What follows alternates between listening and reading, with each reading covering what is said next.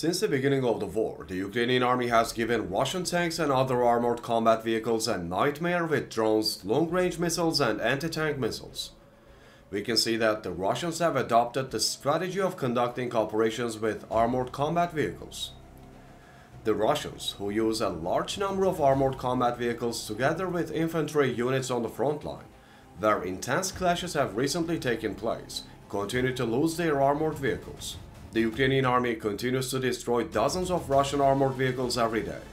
There are thousands of racks of Russian armored vehicles in some parts of the front line. These racks are the racks of armored combat vehicles used by the Russians in operations.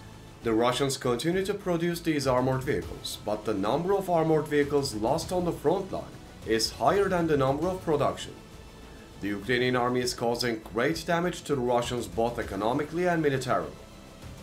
The number of armored combat vehicles lost by the Russians since the beginning of the war is exactly 12,582.